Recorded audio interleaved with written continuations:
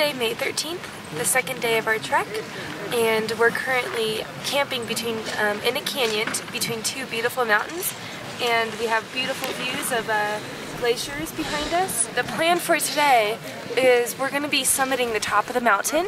We're going to um, get to about 14,000 feet in about three hours, so we're halfway to the top and then we're gonna go down just a little bit before having lunch. And then the rest of the, the day and the trek should be a steady decline. So this is gonna be probably the hardest part of the trek when you do it um, last after, or yesterday afternoon and this morning. So we're pretty, we're looking forward to some downhill.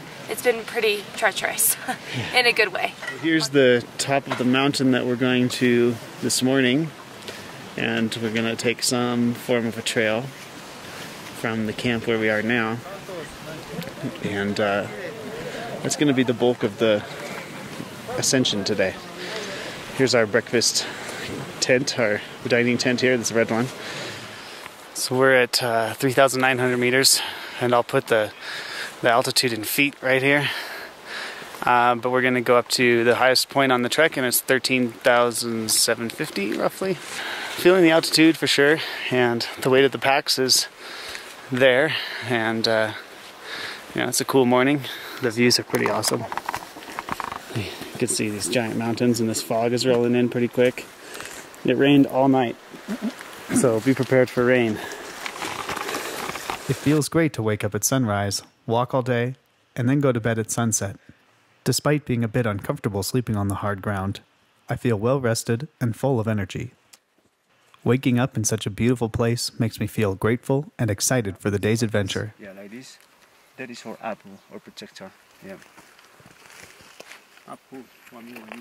Coca leaves are still widely cultivated in Peru, and they are used for a variety of purposes.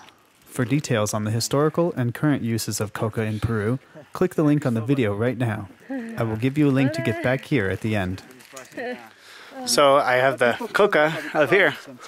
And uh, no, don't freak out. It's not a drug. It's just a plant. And it tastes a lot like tea. It's kind of like green tea or something. A little bitter. It's like if you were just going to eat the tea leaves raw. But uh, they say it helps with altitude sickness and it gives you a little boost. And it's not nearly as concentrated as the white powder cocaine that you might be thinking of, even though they do make it from this. That's like way more concentrated. I'll research it and see how many times, maybe a hundred times or more. But uh, yeah, it's not bad. Here's that mountain that we're working towards. We're a lot closer now. It's coming into view. How you feeling? Pretty good. A little more winded than yesterday. Yeah. As we go over 12,000 feet. Um, I think we're getting close to 13. As we get to 13, starting to feel the high altitude. Yeah. But feeling okay. Not bad, huh? No. Yes, yeah. Can you see this? There's the nose. See? And then the mouth and stuff. This is like where the eh, forehead would be. No, the we will go the, um, top That's why it's called Dead Woman Pass. It's because it yeah, yeah. looks like yeah. a woman laying down yeah. facing the sky. We made it. Yeah. Um, we're at the top of the nipple. the Dead Woman Pass? Dead Woman Pass. Um, we're about at 13,750 feet. And it's the highest elevation on the trek. So from here it should be easy going. Pretty much. Yep. Look at this view. There's where we came up. This is our trail. You can see people coming up here. Right there.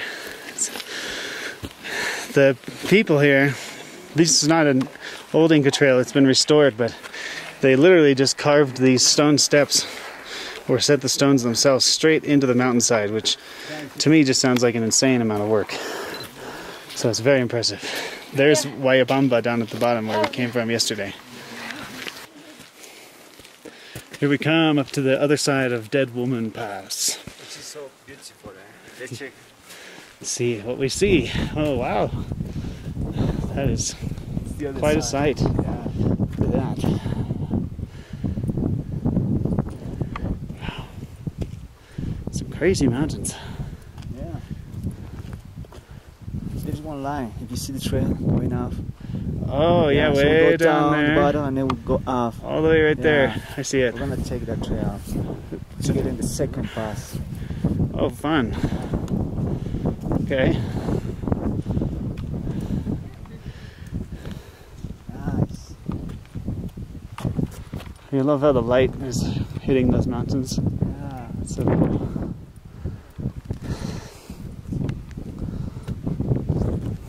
Alright guys. I wanted to give you a follow up on the coca leaves.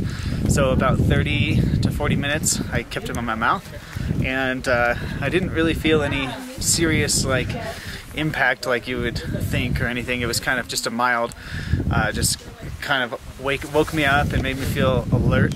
Um, it didn't feel like coffee. It didn't give me a headache. It didn't make me dehydrated. It just felt like I was just a little bit more present. So I think that's kind of cool because they say that it helps for altitude and it helps for digestion, and it felt a lot cleaner than things like coffee or tea, which tend to make me feel dry or like kind of a little bit of problems in my stomach. So, you know, I definitely think that it's uh, good in the form that we had it. I don't know about turning it, turning it into cocaine, but yeah, not bad. Water is present along every part of the trail. It's clear that the Incas channeled it both for their own use and to prevent erosion. The amount of manpower and engineering skill that went into building these roads and cities is unfathomable, especially considering that the Incas did not have the wheel, horses, or iron tools. So since we passed over Dead Woman Pass, we've been walking down the whole way, which is a really nice break from all of the up we've been doing. But it's definitely hard on the knees and a little bit uh, different muscle groups that we're using. We're walking down this staircase, which has been almost the entire way, which you can see has been made and is uh, really convenient, um, and also just baffling that people took all the time and the effort to put these stones here. Uh, we're getting really close to our lunch spot, and then we're going to go back up again and down again to our camp. There you can see our second day lunch spot, and after that, we're going to be taking this trail, which goes up the mountain, and you can see it going up. We're going to get to this Inca site, and that's the halfway point of the next up part, and we're to go all the way up over that pass. So, not really looking forward to that. It was puzzling at first as to why people would choose to settle such difficult terrain. But while steep, these mountains are extremely fertile and well irrigated. The difficulty of moving through here can serve as an advantage in terms of protection. The Incas conquered many smaller, established communities, and it's likely that those communities consider these factors when choosing their locations.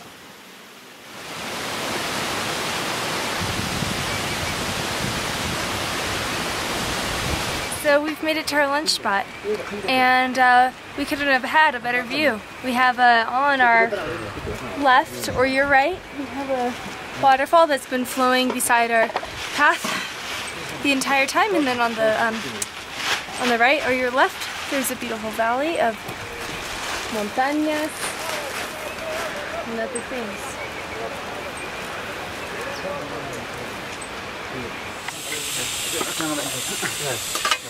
Here we are in the kitchen. This is Cristobal, the chef.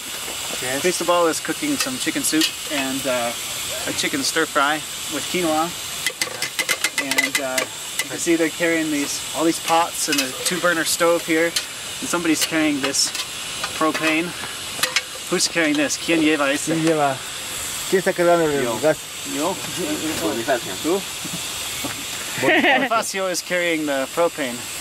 ¿Pesa mucho? Sí. he says it's heavy. Yeah, I believe him. So, yeah, you can see they have a pretty good setup here for cooking, and we have uh, lots of really good meals, so extremely grateful. Gracias. Okay. Ustedes. Tigers. Tigres. Ah, ah, ah. El bistro Cristobal. El Bistro. Yeah. Okay, it's lunch ready. Gracias. Cristobal has prepared a lot of food for us. we have here a pasta dish. We have here um, a chicken dish with vegetables and also a quinoa dish. And we also just had soup. So no need to worry. If you come on this tour, you will have plenty of food to eat. So here we go up the next incline from Yeah, lunch spot.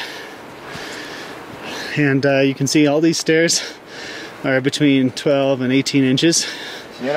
And uh, you know, pretty much goes all the way up to the top. Look at me. Here you can see the waterfalls we were passing on the way down to lunch. There's two of them. And then if you zoom out, you can get a real sense of the type of terrain we're covering. We came down through this valley, right down there, and down to our lunch spot. And now we're all the way up here, which is uh, considerably higher already. And we're making a, a lot of vertical progress and very little horizontal progress. Here we can see a view of Runkurakay from the top. We're on our way to the second mountain pass. And we caught a little bit of rain, so you can see our rain gear in action. We've got rain jackets, pack covers, and all kinds of stuff like that. Okay, so one thing that I just want to reiterate is that if you're planning on coming here, you really should be in good physical condition. Uh, we're just going up and down constantly, and it's uh, extremely difficult. And that's something that the tour guide websites and the books don't really mention. And I understand why, because they're trying to sell treks and spots on on the you know the path, and it's how they make money. So they wouldn't want to tell you not to come, but seriously, you know, make sure that you're fit. And if you don't think that you're fit enough, then the first thing you can do is hire a personal porter. And then the second thing, obviously, is you got to train.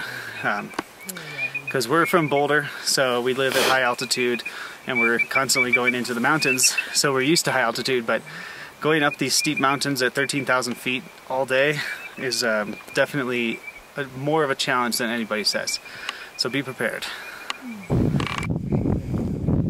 Here we have nearly reached the top of the second pass.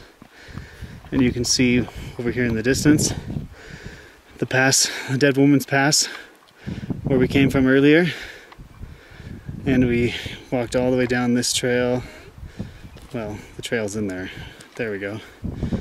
And uh, down to somewhere down there. And then we came back up this other side. And now we are at the top of the other side of this giant valley. And these mountains, you still can't even see the top. I've never seen the top yet. Here we are, looking down the other side of the second pass, and uh, got a cool little cave steps in here. This trail continues to impress me and look very cool. Your head, guys, here. Okay. Don't break the... Don't break the rock. this is like something you see in a movie. this is really cool. Many terrain features like this are only partly natural. The Incas definitely shaped these stones to suit their needs. Our guide suggests that one method they used was to chisel holes along a fault line. They would then fill those holes with wood, and by soaking the wood, they created tension along the fault. They could then hit the rock very hard, and it would break off. I just had a bar. It was delicious. A bar, huh? Yes. What kind of bar? A Luna bar. Yeah, Made for women. we like Luna bars. So if you're watching this Luna bar, we would love to receive cases on a semi-regular basis. yeah, it's super steep. Going down the same kind of steps we just came up. To illustrate how quiet the trail is, I did not lower the volume on this clip.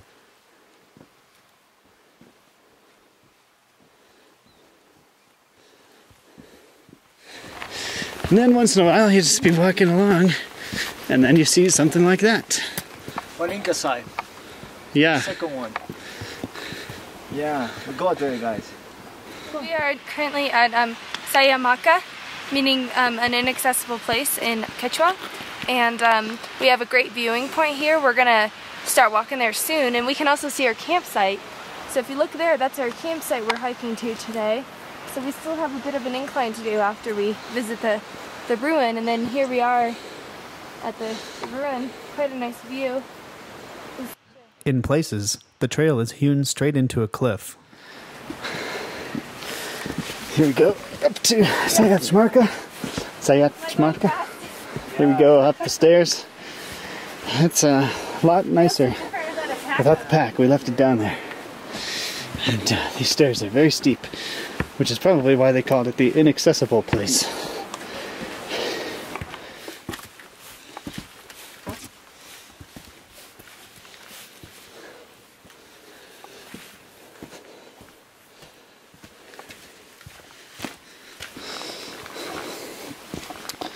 We have almost arrived at the second camp. We are back in the rainforest.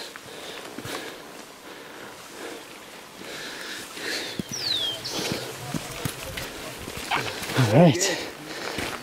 Muy bien, señor Mateo. We made it. Day two. Done. Yeah. Guys, this is your temple. You. Thank you. Thanks for watching. The next video covers our third and final day of the trek to Machu Picchu. Be sure to find my packing video and the video of Machu Picchu itself. If you'd like regular updates about my travel videos, hit the subscribe button below.